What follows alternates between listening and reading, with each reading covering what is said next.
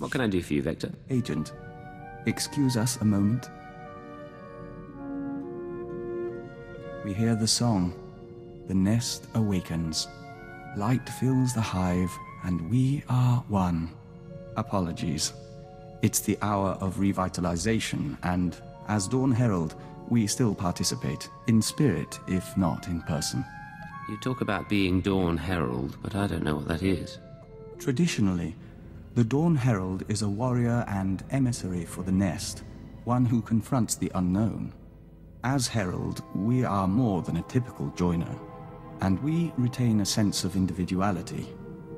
It's also why we're useful to you. You aren't entirely part of the hive mind, but you don't want to leave it, do you? The joining changed us, and we are content. In any case, we still honor the Killik's gift.